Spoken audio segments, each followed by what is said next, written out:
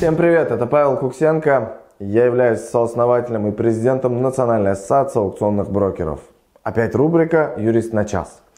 А, сегодня все меньше буду говорить юридической терминологией, все меньше буду ссылаться на статьи и э, на требования закона, а поговорю о том, что происходит в реальности в процедуре банкротства и почему очень часто мы видим либо не видим заключение оценщика об оценке имущества конкретного банкрота. Коллеги, чтобы быть э, в теме, что называется, давайте вернемся к тому, зачем это вообще нужно делать.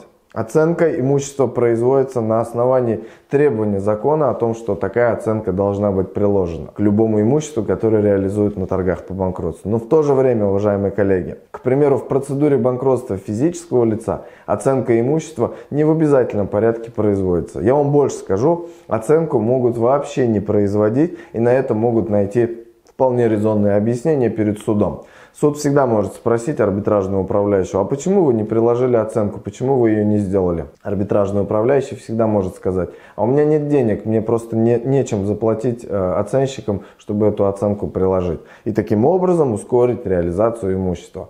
Суд ничего не может с этим поделать и вынужден принять эту сторону. Но очень часто, коллеги, мы видим, что оценка крайне неадекватная. Имущество, которое выкладывается на реализацию на торгах по банкротству, не соответствует действительности, либо ценник задран так, что непонятно вообще, какой оценщик это делал.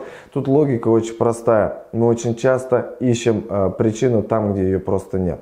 Я знаю, что арбитражные управляющие просто-напросто получают откат от оценщиков и за эти действия им возвращают денежку. Ну, некий кэшбэк, если хотите. Говорить об этом мне не стыдно, э, говорить об этом я вынужден. И это и есть, друзья, это современные реалии, это то, что в реальности происходит здесь и сейчас. Поэтому, коллеги, очень часто э, те арбитражные управляющие, которые заказывают оценку, они очень часто и ставят задачу. Тебе нужно, чтобы оценка была вот такая, да, чтобы она была задрана, или наоборот, чтобы она была занижена и так далее. Когда оценщики и арбитражные управляющие вступают вот в такие финансовые взаимоотношения, а живем мы в России, жди беды.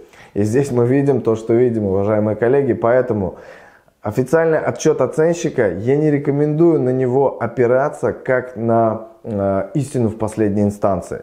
Я рекомендую вам ознакомливаться с этим, как с характеризующим материалом, как с информацией, которая содержит фотографии, какую-то дополнительную информацию, какие-то четкие номера. Там указана какая-то еще дополнительная информация и так далее. Изучать это нужно, но так, чтобы вы базировались на этом и у вас, к примеру, а, отчет оценщика был основным ценообразующим а, фактором, так делать некорректно, поскольку это будет не совсем правильно с точки зрения бизнеса. На это нужно смотреть, но опираться на это нужно в последнюю очередь. Будьте грамотными, подписывайтесь на наш канал, ставьте лайк, жмите в колокольчик и смотрите новые видосы, будет крайне интересно. Пока!